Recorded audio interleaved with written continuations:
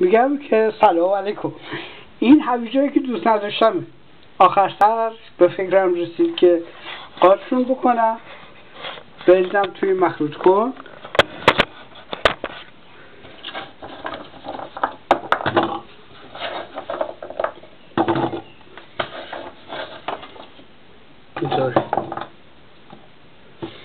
و یه خوردم.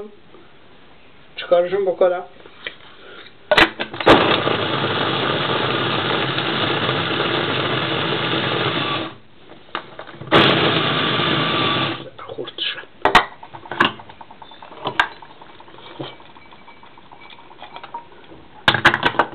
برای که مزهشون باب طعم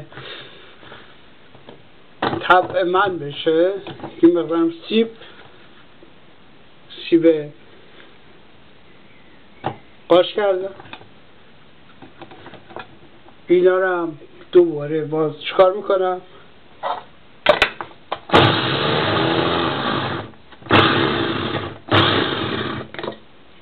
نمیشه یه بار دیگه. احتمالا باید یک کمی آب بزنم بهشون.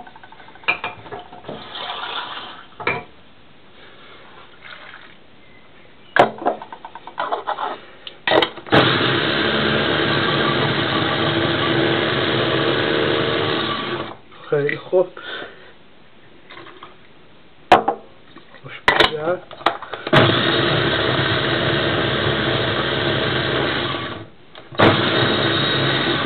خیلی اینم روش.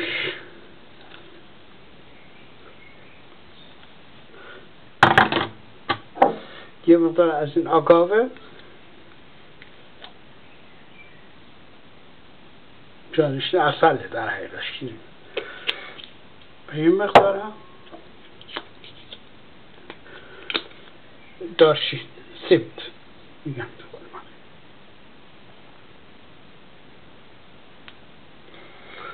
اینو با قاشق هم می‌زنم و خواهم خوردش این میشه احتمالا شام امروز.